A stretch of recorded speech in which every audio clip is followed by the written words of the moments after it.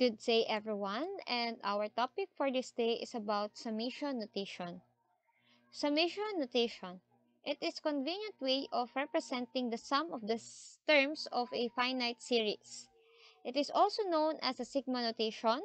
It involves the uppercase Greek letter sigma.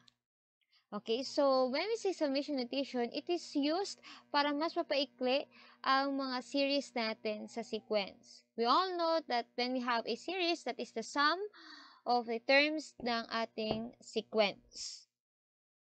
Summation notation, it is the sum of the first n terms of a sequence which is represented by summation of a sub i as i goes from 1 to n is equal to a sub 1 plus a sub 2 plus a sub 3 plus a sub 4 plus up to a sub n minus 1 plus a sub n, where i is called the index of summation which is uh, found dun sa bottom ng ating Greek letter sigma. n is the upper limit Okay, nandito sa taas. And i is the lower limit of the summation. For example, we are looking for the sum of the terms ng sequence natin and magsisimula sa second term. Kung magsisimula tayo sa second term, yung ating index of summation, yung i natin, should start at 2. Okay, but in here, i is 1, so therefore, yung sum ng terms na kinukuha natin sa sequence ay magsisimula sa first term. Properties of sums. Okay, so from these properties, uh, we are referring to the properties of summation notation using the Greek letter sigma. Okay, so if we have a sub i and b sub i are sequences and c is a constant, then, okay, so this time we will have the first property, summation of c as i goes from 1 to n is equal to cn.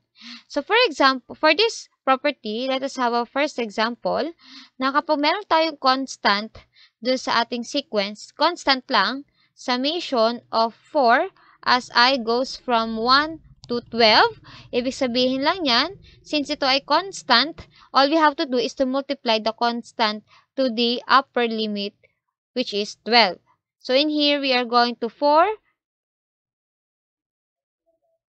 times 12 So, 4 times 12 is equal to 48.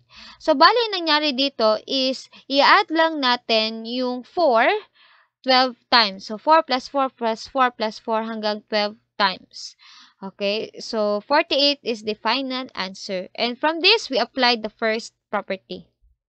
Next property, we have summation of C times A sub i as i goes from 1 to n is equal to C times summation of a sub i as i goes from 1 to n. In this property, it says that uh, we are going to isolate the constant term from the sequence in the summation. Okay, so for example, okay, we have summation of 3i as i goes from 1 to 5. So, it is equal to, pwede natin isolate yung 3 doon sa ating summation. So, this becomes 3 times the summation of i as i goes from 1 to 5. Kapag meron tayo summation of i as i goes from 1 to 5, meron shortcut para dyan. Okay, pero from this property, it says that uh, we can isolate the constant number from the sequence. So, to solve for this, uh, we have 3 times, okay, i yung i natin, kukunin natin yung sum from 1 to 5. So, we have 1 plus 2 plus 3 plus 4 plus 5. So, mamaya, sa susunod na properties natin, merong isang paraan ng pag-a-add na mas uh, maikli ng ganitong uh, pag-add ng counting numbers. So, in here, we have 3 times 1 plus 2, that is 3, plus 3, 6, plus 4, 10, plus 5, 15. Okay, so 3 times 15, it is equal to 45. Third property, if we have this summation of a sub i plus or minus b sub i as i goes from 1 to n, it is equal to, according to this property, if we have two terms in our sequence, pwede nating paghiwalayin yung dalawang terms na yon.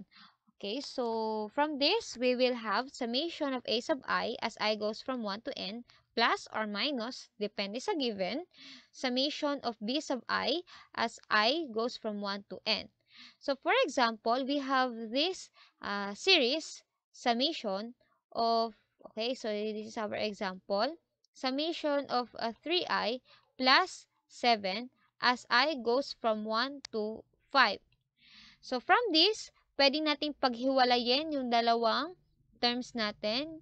So, we have, uh, for this uh, part ng 3i, i-isolate na natin yung constant. We have 3, then summation of i as i goes from 1 to 5, and then plus summation of 7 as i goes from 1 to 5. So, in here, we can solve this by 3 times uh, we are going to add counting numbers from 1 to 5. So, 1 plus 2 plus 3 plus 4 plus 5. Again, so kapag meron tayong summation of i, meron tayong shortcut para dyan.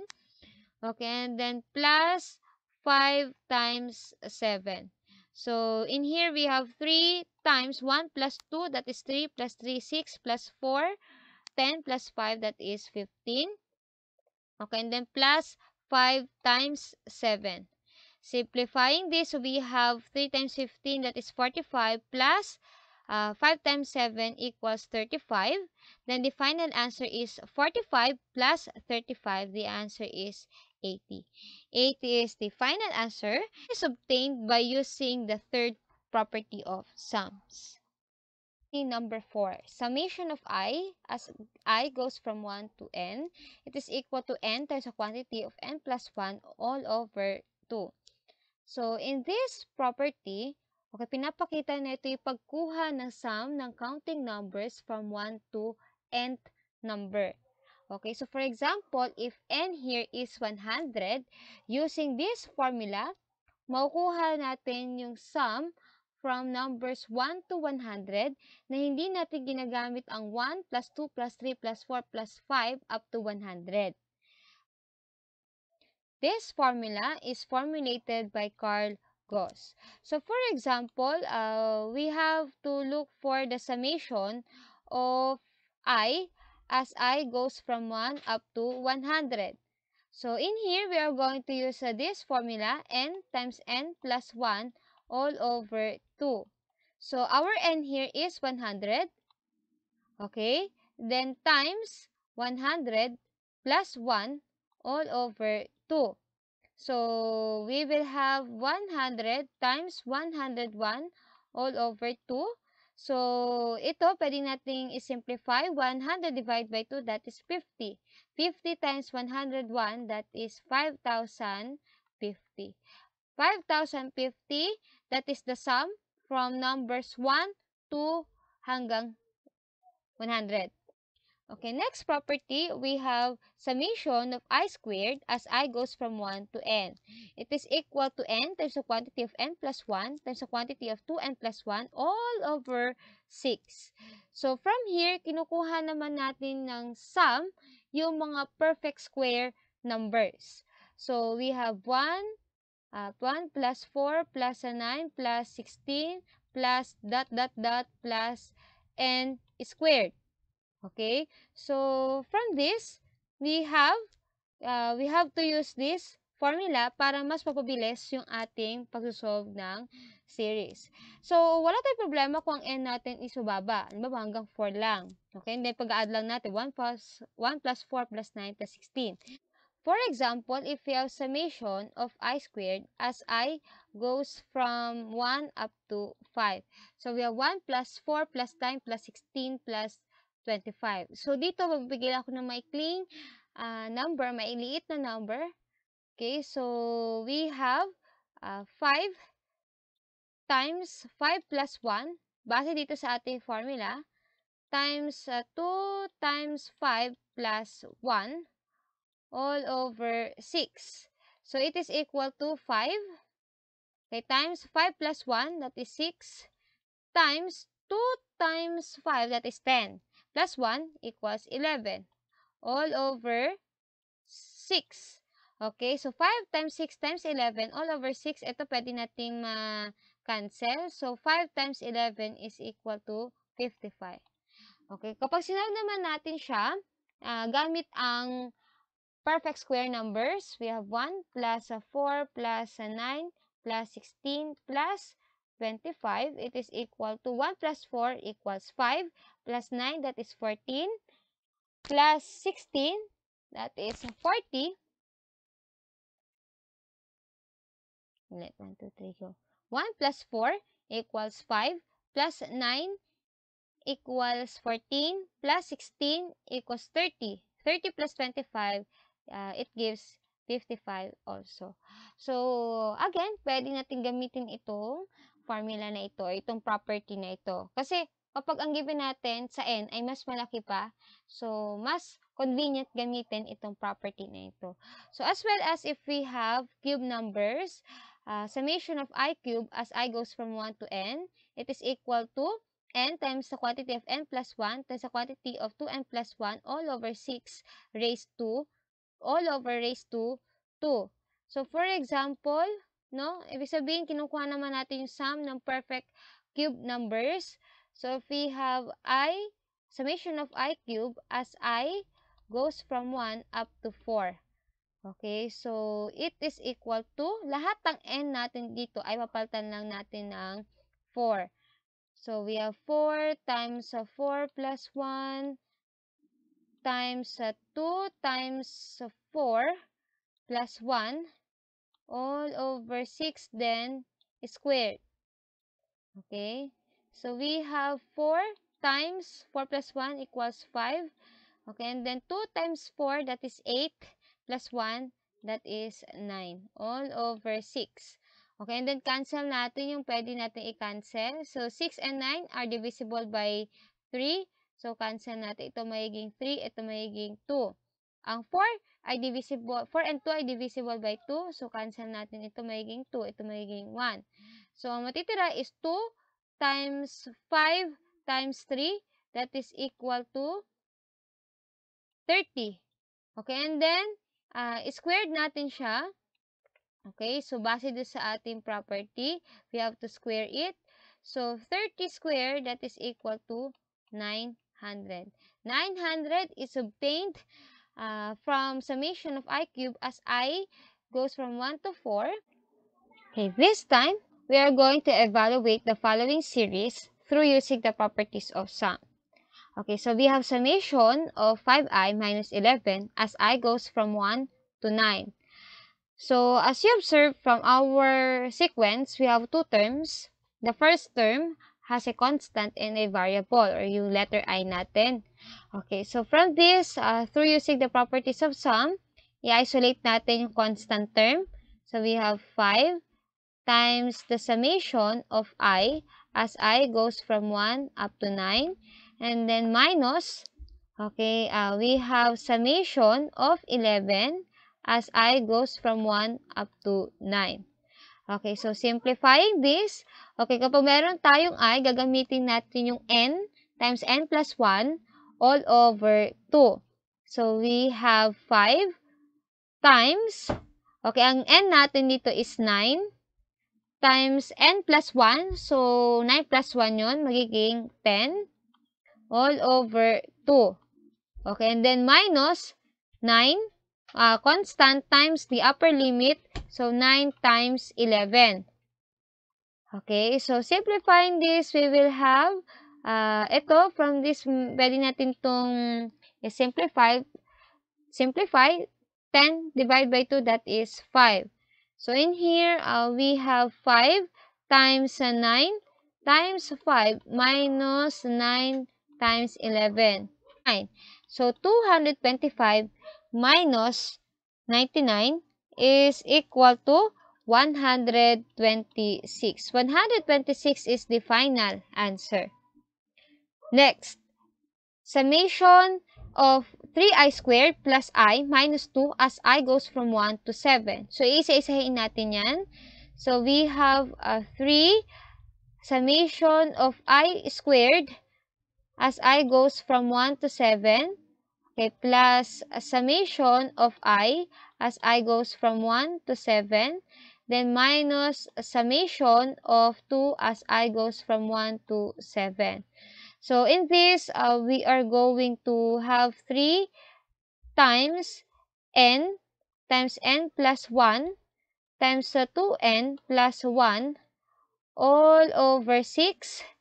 Okay, and then plus uh, n times n plus 1 all over 2 minus 2 times 7.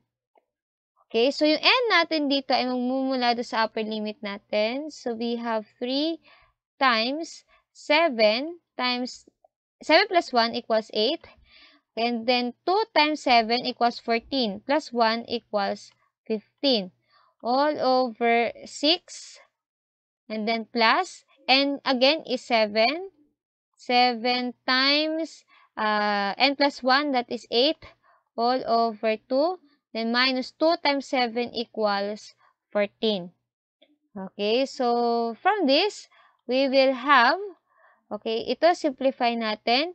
Si 3 and si 6 ay kayang uh, isimplify pagiging 1 half. So, ito magiging 2. Tapos, yung 8 divide by 2, pwede din natin isimplify. Ito magiging 4. So, magiging 7 times 4 times 15 for the first term.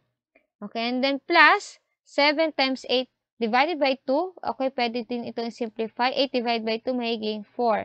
So, magiging 7 times 4 then minus 14.